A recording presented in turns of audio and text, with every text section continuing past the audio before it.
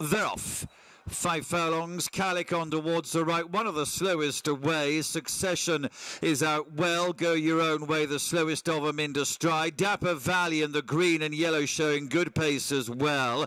Also a yellow cap for States, and then Rusty Boy in the black and red colours. The best turned out when a Calic in the violet jacket to the extreme uh, right. Matters most is in the centre there in the purple and red jacket. American Tail, one from the back of the field. Go your own way, just fractionally the back marker. Moving down to halfway, they're virtually all in line in this with Succession, Calic, Matters Most, uh, States and Dapper Valley, the five together to Rusty Boy and behind these American Tail and then go your own way as they head down with a furlong marker in sight. Good battle here. They get a bit close.